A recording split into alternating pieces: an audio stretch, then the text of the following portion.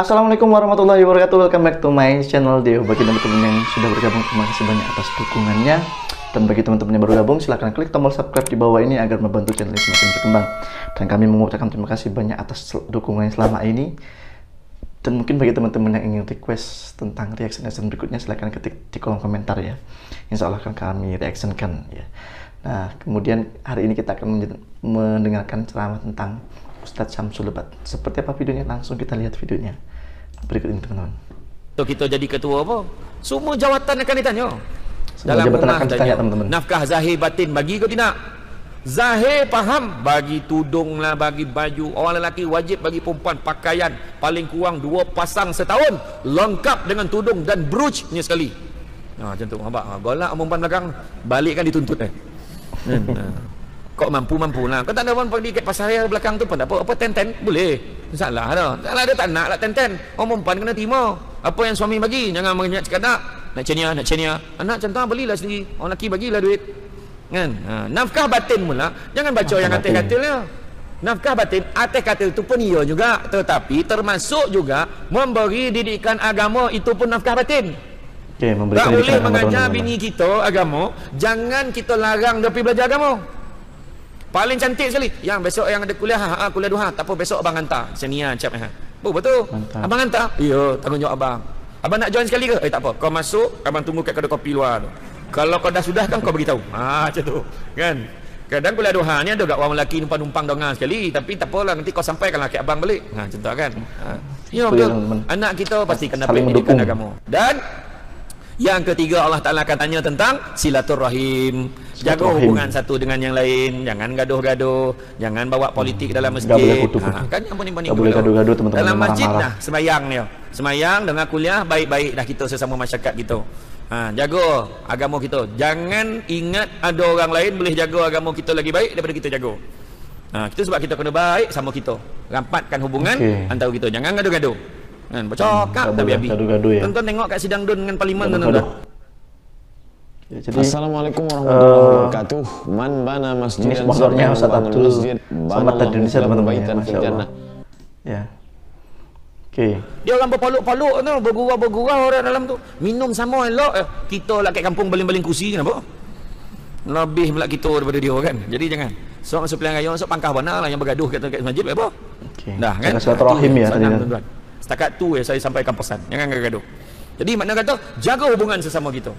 Jaga hubungan antara kita sebab apa? Nabi dah sebut dah. Hampir tiba ya. masanya bangsa-bangsa seluruh dunia akan mengerumuni kamu Berarti oh, hubungan antar Seolah-olah ingin menjamu hidangan.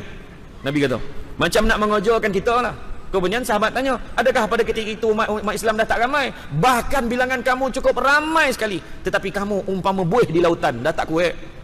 Umpama hmm. buih di lautan, dan pada ketika itu Allah Ta'ala cabut perasaan takut musuh Islam kepada Islam. Dan juga Allah Ta'ala letakkan penyakit dalam hati kita iaitu penyakit wahan. Apa penyakit wahan? penyakit wahan ini adalah penyakit takut mati dan cintakan dunia. Dah cinta dunia takutlah mati. Nampak tak? Ha, tu dia perangai-perangai yang kita. Sebabkan cinta dunia lah. Dia buat hal dia dan tak kau lah. Yang sakit kau bukan aku tu. Nampak ada seorang susah? Sian dia susah kan? Setakat sian ni lah. Sebut kesian tolong kan tidak? Kan? masjid dengan ini memancarkan tabung Tabung bergerak untuk membantu nak bosarkan lagi Masjid Sultan Abu Bakar ni. Contohlah. Cuba tengok berapa ramai bagi. Nah, tak apalah besok-besok boleh lah. Lain kali lah, lain kali, lain kali. Besok mati. So tak sampai. Hmm. Kan? Cuba kita tengok. Dekat tu. Masjid Sri Senayan. Ni tengok. Siap buat rombongan daripada Raup. Nak pergi tengok. Sampai sana ni ramai ambil gambar. Yang semayang tak ramai, ambil gambar ramai. Okey. Ada lah yang semayang. Eh, time maghrib. Ada time-time ramai-ramai lah. Kebanyakan ni tak ramai. Datang ada yang datang ambil gambar. Tak ramai tu datang ambil gambar. Kita balik. Ada. Masuklah dalam tu semayang sekejap ambil tu semayang sunat ke dua rakaat ambil lah kan. Bayangkan hamba Allah ni sedekah macam mana? Tapak tapak tanah sedekah. masjid tu je. Tapak saja 6.5 juta fikir. Tapak saja kos peminat masjid 100 juta lebih fikir tuan-tuan. Kita masih lagi mempertahankan keseringgitan gitu. Singgit. Lalu tabung mula masa gap gap gap ah, sampai dah, dah sampai dah tabung ni. Sampai dah sampai dah tabung ni ada mula dah.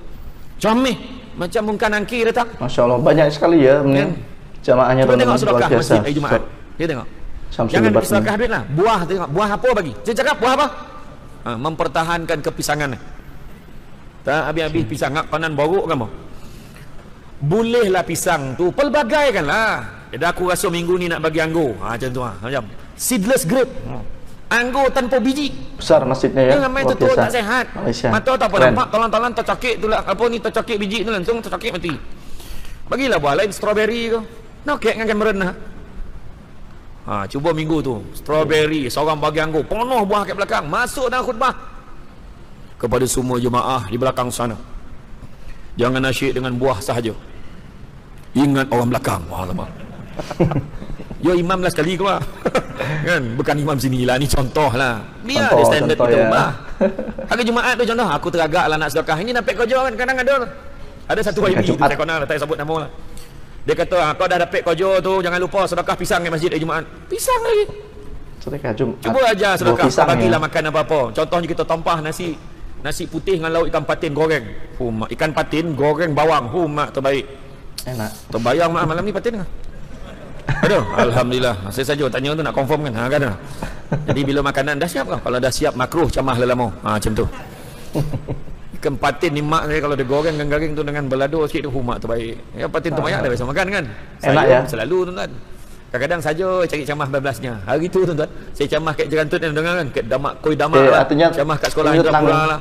Sekolah sedekah, kat, sedekah Jumat ya. Jumat itu hari hari besarnya umat umat Islam teman-teman ya di mana ketika hari Jumat itu pahala itu digandakan teman-temannya karena hari Jumat itu banyak berkahnya teman-teman masya Allah. Pakai kampung feri. Saat Samsul Lebat luar biasa.